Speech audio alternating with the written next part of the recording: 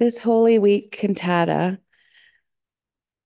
was inspired by The Last Week by Marcus Borg and John Dominic Crossan, with musical pieces chosen and adapted by myself and Mary Boyd, and brought to life by our Centennial United Church Choir.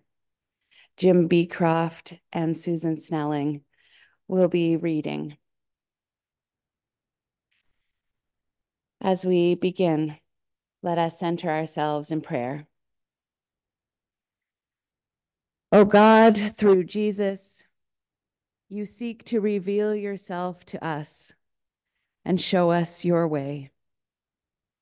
Help us to hear your word to us through this Holy Week cantata and inspire us to keep traveling with you and answering your call to be loving seek justice, and walk in your way. Amen.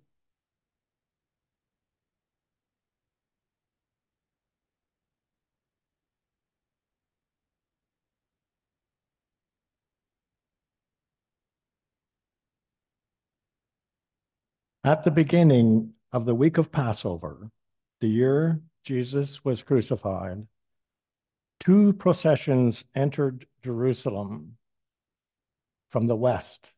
Pontius Pilate, the Roman governor of Idumea, Judea, and Samaria, entered Jerusalem at the head of a column of imperial cavalry and soldiers. Here, in pomp and ceremony, with war horses, foot soldiers, leather armor, helmets, weapons, banners, golden eagles mounted on poles, and sun glinting on metal and gold, accompanied by the beating drums and marching feet. The representative of the power and might of the Roman Empire entered the city. The crowd who gathered in awe and fear knew their place, subservient to the will of a king who would keep the peace through force and violence.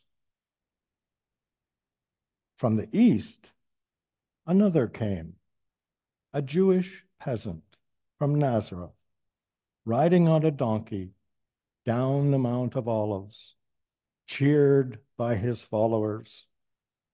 Here, in humility and passion, with cloaks thrown on the ground before him and palm branches waving in the air, surrounded by shouts of Hosanna! Seated on anything but a war horse, the representative of the power and might of God's kingdom entered the city. The crowd who gathered here celebrated with joyous cheering this one who rides on to command peace through love and justice, who rides on with tears in his eyes, knowing God's kingdom must confront the other.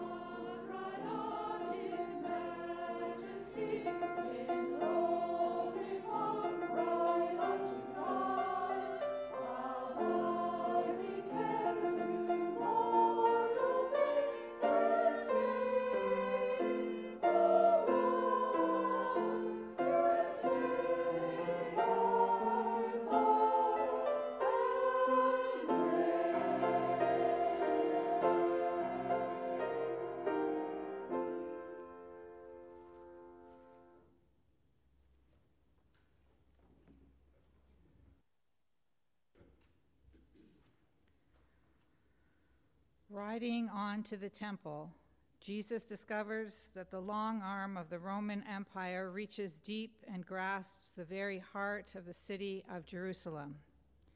Here, worship and sacrifice continue on, oblivious to the oppression and injustice raging throughout the nation. Prayer and penitence are offered in lieu of seeking justice, loving kindness, and walking humbly with God.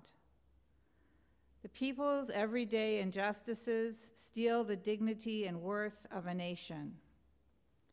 And the temple is treated as a safe house where they can go to be absorbed, absolved, sorry, where they can go to be absolved of their complicity with imperial power and domination. In this way, the house of prayer for all the nations has become a den of robbers.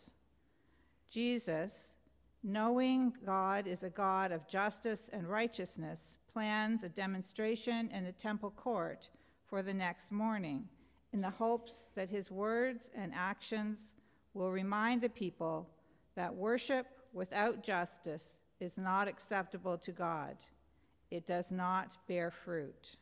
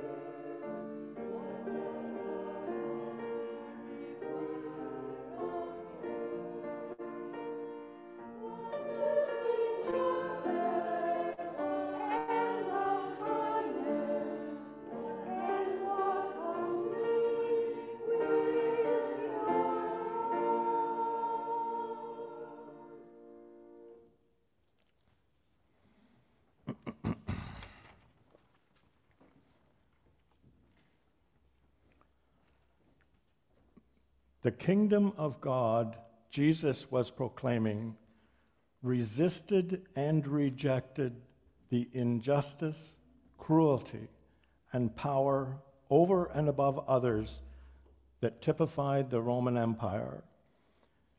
The kingdom of God was typified by another set of parameters altogether.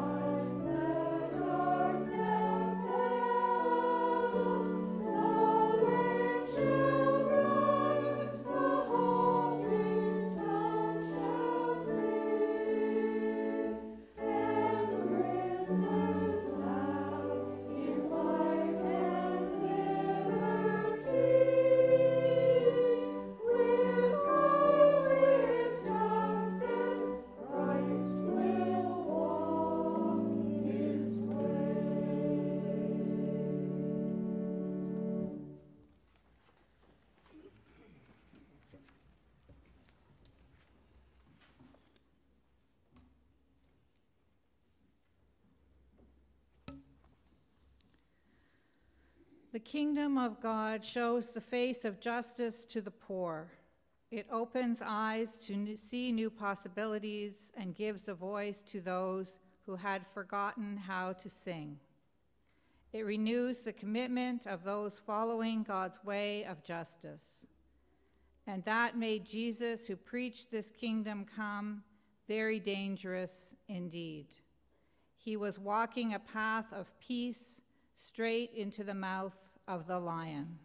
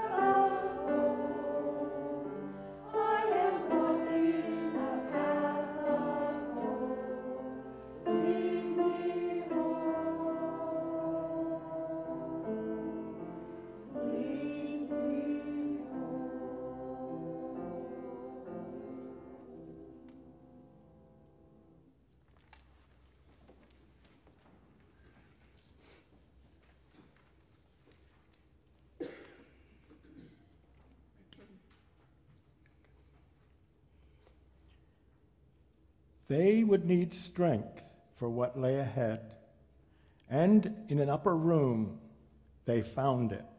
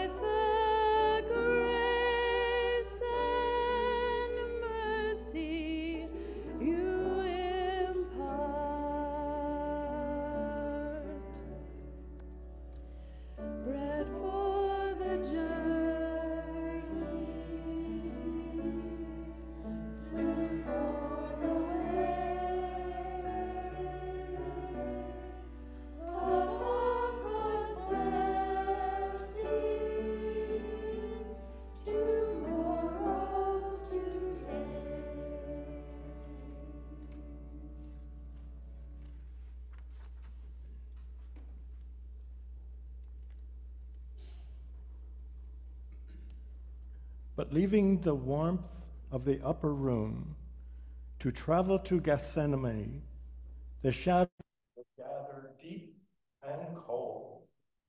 And only by trusting in God, any of us hope to find the strength to stay true to walk the way of the kingdom of God, even when it leads through certain pain and suffering. Jesus knew the path of peace upon which he tread could only lead to his arrest and persecution. And as the darkness deepens, he does not turn away. He kneels alone and prays to God, whom he believes can work in and through all things. To a God whose will is for the kingdom of justice and righteousness to be realized, and whose will can be accomplished against all odds. A God whose will can never be broken. It is to this God Jesus prays, Not my will, but thine be done.